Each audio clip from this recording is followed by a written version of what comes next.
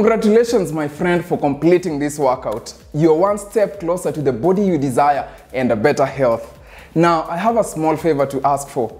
Please share this video with your friends so that we can help this channel grow and help more people become fitter, healthier, and stronger. And if you want a more organized workout plan, just click the link in the description and get the Fat Blaster sequence. In this sequence, I'll be sending you short workouts to your inbox every single day. That is all for today. See you in the next workout.